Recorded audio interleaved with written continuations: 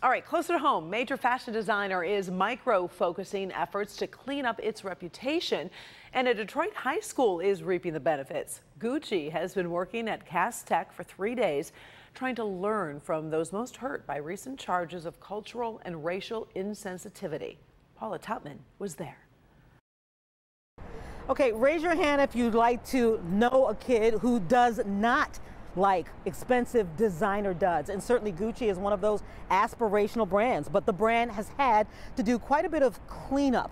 It was a culturally insensitive fashion faux pas that hurt some of the people who covet the brand most teenagers. An $890 insult that cut 17 year old Aaron deep. It was just kind of like, wow, should I continue to buy and purchase and support a brand that doesn't necessarily have my best interest?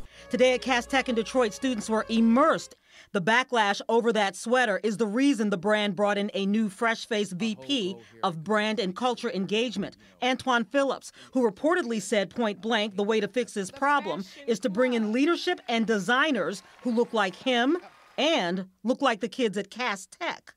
Our whole goal here at Gucci is to make sure we're, um, you know, in, in, including and uh, changing the pipeline within the fashion system and making sure that we allow opportunity and space for you guys sitting out there in the, the stands. Brand managers have been engaging students at Cass since May, and for the last three days brought in more than 100 of its North American store managers and Gucci leadership. Their cultural and diversity training held with the students in the room who could participate. It was huge. Oh it my God. We, were, we kept looking at each other like, are you, are you here? Am I here? But for them to bring their training session to our school and allow our students to be a part of it, to ask questions, and really get an idea when they were talking about diversity and inclusion.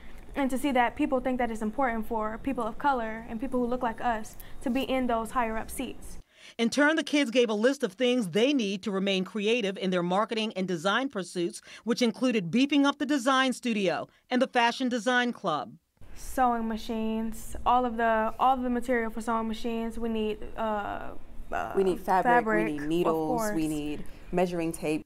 Ask and you shall receive. So we're happy to present a ten thousand dollar check. And a promise from the president and CEO of Gucci America that this won't be the last stop at Cass. And it only deepens our interest in wanting to become much more involved in what's happening here. I do feel as though they are trying to fix a mistake that they made, but I do also feel that they genuinely care. Engagement, forgiveness, and a path to move forward by design. Paula Tutman, Local 4. And Gucci will also sponsor big ticket scholarships of more than $1.5 million to their focus cities. More than $80,000 is earmarked for students at Cass Tech.